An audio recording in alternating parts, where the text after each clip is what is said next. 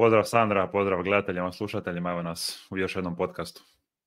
Bog Toni, evo svaki put kad snimamo podcast neko je vrijeme baš za snimanje podcasta, tu pada kiša, ne znam kako je kod tebe gore u Švedskoj. pa kod mene sunce non stop, znači ne, ne mogu vjerovati ovaj, ali evo malo je zahladilo, tako da evo prvi put ja mislim da ove godine da smo i ti i ja u Hudici u našoj ovaj, radnoj, radnoj odori, tako da evo spremni za snimanje.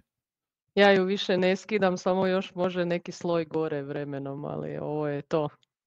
Da, da, to je to za idućih šest mjeseci. E, dobro, evo nastavljamo znači u istom tonu, e, taj nekakav serijal o nekretninama, pričali smo e, već o dosta, dosta tema unutar, jel te, e, možda svima i naj, najzanimljivije teme, jel, barem ovaj, prema broju reakcija, pogleda i, i tako dalje. E, pa evo danas po prvi put imamo sponzoriranu jednu epizodu od kreditnog posrednika Progreso, tako da pričat ćemo o tome čime se oni bave, što nude ali evo, Sandra, i da, da nije sponzorirana epizoda, svakako smo mislili pričati o e, kreditnim posrednicima poput e, progresa. Zašto? Zato što mislim da, mislimo da je to nekako dobar alat kako da si uštedimo e, i vrijeme i novac kad tražimo kredit. Tako da evo danas ćemo pričati i o dobivanju kredita i o potencijalnom refinanciranju kredita. Ali evo možda da, da krenemo s nekako iskustvima, ali ti si imala jednu zgodnu, zgodnu priču ovaj, na, na tu temu.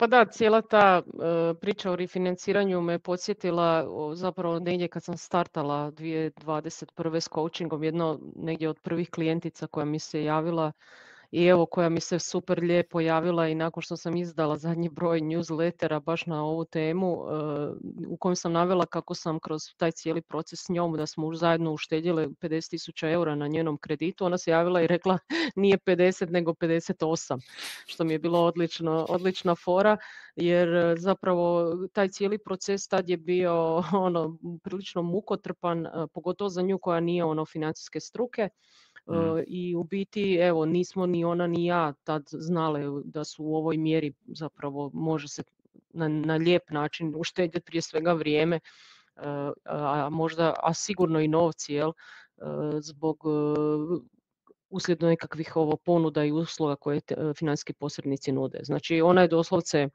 otišla u svoju banku, negdje pročitala na mojim ovaj, na blogu ili na nekoj od grupa Facebooku, LinkedInu, gdje, gdje već da su kamatne stope pale, gdje ja sam rekla ljudima možda je ovo dobar trenutak e, za refinanciranje i ona se javila i onda smo o tome pričali i onda je u biti tražila prvu ponudu od svoje matične banke koja je naravno bila vrlo slična onim originalnim uvjetima, nisu baš bili skloni puno ovaj, spuštati. Međutim, ja sam joj evo, sugerirala da pita na par adresa, na par banaka, da zavrti taj jedan cijeli krug po bankama. Ona je bar kontaktirala jedno 3, 4, 5 banaka gdje je isto zanimljivo da je ona već u nekoj trećoj ili četvrtoj iteraciji bolje znala od službenika banaka koji su uvjeti i što se sve da i zapravo mi smo zajedno nekako gledali kako na koji način da izbjegne sve te troškove, odnosno da uzme od svake ponude ono najbolje i da se vrati u svoju matičnu banku i tada joj je matična banka zapravo ponudila najbolje uvjete jel, koja je bila kombinacija svih ovih drugih uvjeta banaka. Praktično ona odradila cijelu tu neku uslugu kreditnog posredovanja sama. Ono što je dobro da se izgradila jel, u tom pregovaračkom smislu, ono što je loše što je sigurno potrošila gomilu vremena. Ali ono što je važno da je ona tada nekakav kredit koji je bio ugovoren na neki 30 godina uz kamatnu stopu preko 5%, ako se dobro sjećam 5,5, mislim da je bilo zapravo skratila za 10 godina otplate uz isti anuitet, jel? što je ono bio zapravo revolucionarni i onda je došao taj efekt tih još 60 tisuća ukupne uštete na kreditu. Tako da bi rekla da onako napravila si je potez e, životni, koji joj je ono olakšao sigurno ovih sljedećih godina i gdje ti vidiš kraj e, toj otplati kredita. Ali još jedna zanimljivost, kako sam prolazila kroz ovu komunikaciju, e, banka je tada rekla pa joj nemojte uzeti kredit od 2,3% koje je mogla ugovoriti uz, fiksne, uz fiksnu kamatu, nego e, uzmite promjenjivo 3,6 jer je očekivanje da će kad uđemo u evropsku ovaj, eurozonu, da kad uvedemo euro, da će kamate dodatno pasti. Pa mislim da je to sad bilo zgodno pročitati, jer ono 2,3 posto koje je ona uspjela fiksirati, ja mislim da je to ono doslovce za otvaranje šampanjca, evo, i da ne mora više ništa po tome dirati. Tako da rekla bi ono super priča i trebaju ljudi po meni pratiti uvjete, a još bolje evo, s vremena na vrijeme i kontaktirati nekog od financijskih posrednika da, da im to u tome pomogne. Da, kad čujemo te nekakve razlike, ono 2,3, 3,6%, pa ne zvuči to nešto puno, jel, ali ovaj, na, ne znam, 100, 150, 200 tisuća eura na 20, 25, 30 godina, znači e, tu je složena kamata, jel, slično kao i kod investiranja e, i kod kredita, dakle, to su ogromne razlike, znači u, u nekakvim krajnjim iznosima koje, koje ćemo platiti. E sad, odakle krenut, onako najčešće pitanje koje nam ljudi postavljaju. Evo, ja sam nedavno, ovaj, sam baš išao u kupovinu nekretnine tu u Švedskoj, ovaj, gdje živim sa suprugom i prvo pitanje je bilo ovaj, svim e, prijateljima tu, je li postoje nekakvi kreditni posrednici, nema tako nečeg recimo uopće ovaj, u Švedskoj, ali to bi me dosta olakšalo tu potragu, ovako sam morao zvat sve žive banke, sa svakom posebno dogovarati, pregovarati, uspoređivati ponude, pa i sa najboljom ponudom drugoj banci i tako dalje, znači jako puno truda, vremena i živaca mi tu otišlo.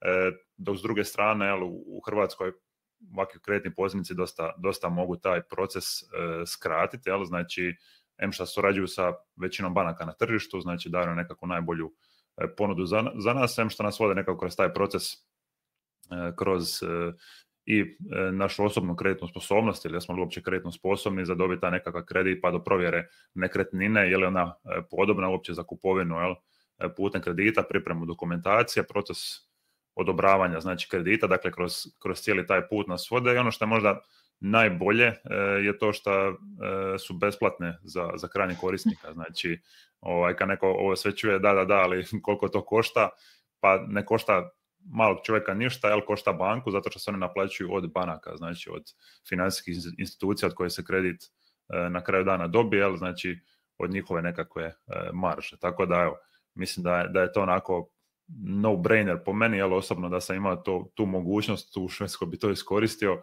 ali evo, nažalost nisam, ali kažem, u Hrvatskoj ko diže kredit ili ko refinancira kredit, kreditni posrednici mogu tu stvarno ovaj, dosta taj proces eh, skratiti.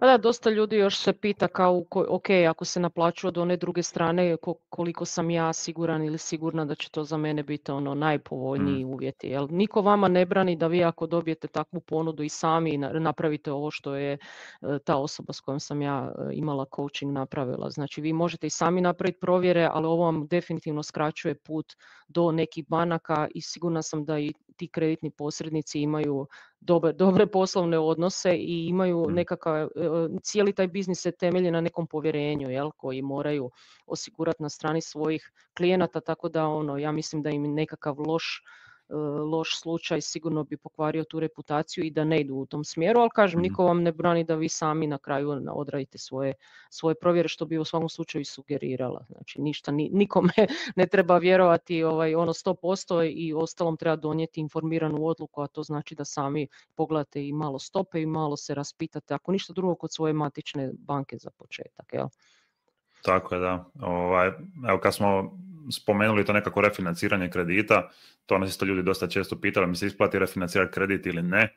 E, najkraći odgovor je da ovisi, znači ovisi od više faktora o tome koliko nam je preostalo uopće o otplati kredita po kojoj smo e, kamati e, originalno dogovorili tako dalje. Evo sad si spomenula da je e, te nekakve 2021. čak početak 2022. su te kamatne stope su bile na na, na možda i dnu, jel, e, barem trenutnog ciklusa, tako da možda je tada bilo najpovoljnije, sad su te kamatne stope nešto više, jel, kao odgovor na e, boru protiv inflacije, ali dalje su one niže nego što su bile recimo tamo 2014. 2015. 16. još nisu dosegle te e, razine. Tako da evo, za nekoga ko možda je podignuo kredit u tim godinama, možda se još uvijek isplati refinancirati, ali kažemo, ovisi, znači treba, treba napraviti jel, tu nekakvu računicu, ako ne samostalno, kažem opet, jer kreditni posrednici će, će sigurno tu e, nam, nam dosta, dosta pomoć. Tako da, evo, unatoč tome što su kamatne stope trenutno niže nego što su bile prije godinu e, ili dvije dana, e, pardon, više nego što su bile prije godinu ili dvije dana, ipak su niže nego što su bile prije nekakvih 7, 8, 10, 12 godina. Tako da, evo, treba imati to na umu, a i za nekako možda budućnost, ako nam se ne isplati refinancirati sad, očekuje se pad kamatnih stopa koje trenutno vidimo ali u SAD-u i lagano Europa tu isto kreće u snižavanje kamatnih stopa, tako da očekuje se, ali nikad ne znamo šta će biti, pogotovo jel, sa makroekonomijom, ali očekuje se kroz godinu, dvije dana da najvjerojatnije će kamatne stope biti nešto niže, tako da onda će možda biti i povoljnije refinancirati kredit za, za dobar dio e, građana.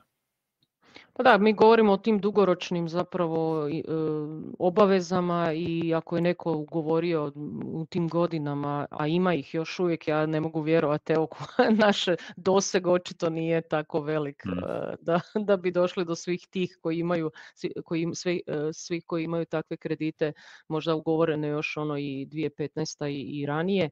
E, da naprave tu nekakvu vježbu jer njima se i dan danas to isplati jel, uz, uz mm. ovakve neke kamate od 4%. Ali možda, evo kao što si rekao, neki trend je ponovno možda e, korekcije prema niže, pa će to biti novi, e, novi dobar moment, a isto tako treba naravno ovisi o tome koliki je taj preostali iznos, odnosno iznos kredita i period otplate, jer onda to je nešto što vam evo, kreditni posrednici isto tu mogu pomoći. Tako da u svakom slučaju informativna lista e, od HNB-a je dobar početak za sve one koji i pogledajte prvo svoje naravno ugovore o kreditu, pogledajte izvještaje e, gdje ste trenutno s otplatom glavnice i kolika vam je kamatna stopa. I onda pogledajte tu informativnu listu kredita i vidite da li tu eventualno ima prostora za nešto do, e, dodatno drugačije ugovoriti. Ako da, evo, možda onda prilika da pokucate na vrata banaka. Da, ovaj, ti si Sandra mislim i pisala detaljnije o ovoj temi u svom mjesečnom newsletteru o nekretninama, ako se ne varam u prošlom izdanju ili možda predprošlom, e, baš o tome ili se isplati ili ne. E, spomenula si iskustvo ove svoje e, polaznice coachinga koja je zapravo zadržala isti anuitet, znači isti mjesečni iznos, ali si je skratila vrijeme otplate, koliko se rekla, 10 godina. Znači, Skoro 10 godina, da. Da, E, druga, druga opcija je naravno da idemo s tim da nam ostane vrijeme otplate isto, da, da se smanjimo iznos anuiteta, odnosno mjesečne rate. Tako da postoji, postoji ta opcija kad refinanciramo kredit. E, isto tako možda možemo dobiti i povoljnije osiguranje kredita. Jel? Tako da evo, to su nekako, nekoliko načina postoji kako možemo uštediti jel? Na, na refinanciranju ako se za to odlučimo. Da, mene muči još uvijek e, zapravo financiranje, a ne refinanciranje. Ja sam svoje kredite ove od prije iz mladosti otplatila i sad je pitanje da li bi ulazila u neki novi, opet ovisi ono kao što često spominjemo godinama koje imam i da li mi se, znači do koje dobi ja zapravo želim u svom životu otplatiti neke kreditne obaveze ja zagovaram da je to što ranije, ono 55, a možda kao nekakav plafon, ali evo, kada bih uspjela dobiti kredit ponovno po neki 2%, mislim da bi, e, da bi prilično hladno ugovorila i na mm. 10 godina, možda i 15, jer jednostavno se radi o nekoj stopi koja je možda na razini nekakve dugoročne inflacije i to ne bi me trebalo toliko brinuta. Ja vjerujem da ćeš i ti možda biti u toj situaciji, evo sad kako si dogovorio kreditiranje, možda će i tebi biti zgodno razmisliti o refinanciranju ove obaveze koju imaš. Vrlo vjerojatno s tim da evo tu u Švedskoj je dosta ovaj, uobičajenije da se uzima e, variabilna kamatna stopa i onda se ona veže eventualno nekakav period, znači do godinu dana, dvije, tri i tako dalje. Mi smo odabrali uopće ne, ne fiksirati, zato što je očekivanja da će kamatne stope padati. U međuvremenu su već nešto pale tu u Švedskoj, ovaj, samo tih nekoliko mjeseci, tako da ovaj, možda onda kasnije... Mhm, se već korigira, znači kredit. Već, već se korigira, da, možda kasnije kad vidim da te kamatne stope već budu onako e, puno, puno niže, onda možda fiksira nekakav ovaj, uh rok, ali evo, treba, treba o tome razmišljati. U Hrvatskoj ipak su krediti puno češće E, sa fiksnom kamatnom stopom barem na, na nekakav dulji, dulji vremenski period. Ali onda sada, su, sada su potpuno isključivo fiksni, e, fiksne, mm. fiksne kamate, znači praktično nema ponude više kredita e, variabilnih. Mm. Tako je, da. Tu je zgodna možda i ona informativna lista HMB-a o kreditima. Mislim da smo me čak i linkali u prošloj epizode, ali ostavit ćemo opet u opisi ove epizode, tako da to isto možda je jedna zgodna početna točka da, da pogledamo uopće kako je stanje na tržištu. E, trenutno se to kreće negdje malo ispod 4%, ako se ne varam, tako novo ugovoreni e, stambeni krediti tu, tu negdje, u tom. U tom tako negdje, oko 4, da. Mm. Tako da to, je možda pa to je možda jedna granica koju smo spomenjali ti ja ranije, da se isplati e, više novca investirati ili ranije otplati kredit, tamo smo rekli da je možda tako negdje oko 3,5, 4, ovisi koliko ko ovaj, e, sklon riziku za otplatiti kredit ranije, ranije ili ne, tako da evo to možda e, nekako mora, mora svako odlučiti odlučit za sebe, ali definitivno to sad već nekakve malo, malo više kamatne stope. Da, to je 4%, mislim neki su skloni reći da je to 5%, ja sam e, sebi povukla baš na toj 4 i spominjala sam da je moj kredit bio svojevremeno 8%, pa je meni ono praktično bilo i tada intuitivno e, nekako mm. Najpametnije krenuti što prije i što više otplatiti takav neki kredit, jer zaraditi 8% na tržištu, rekli smo, nije lako, odnosno pričat ćemo o tome, ali ako već imate ovako recimo kredit uz 2%, kao što ova moja klijentica ima, njoj se otvara, ja bih rekla, prostor i da, da onu razliku koju stvori da definitivno investira, a ne mm. da ide u otplatu takvog jednog povoljnog kredita.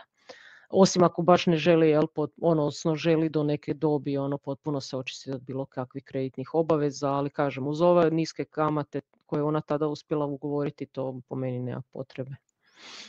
Da, evo, toliko možda za, za danas.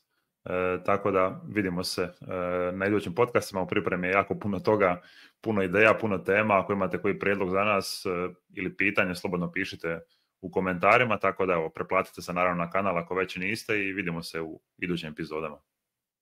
Pozdrav svima.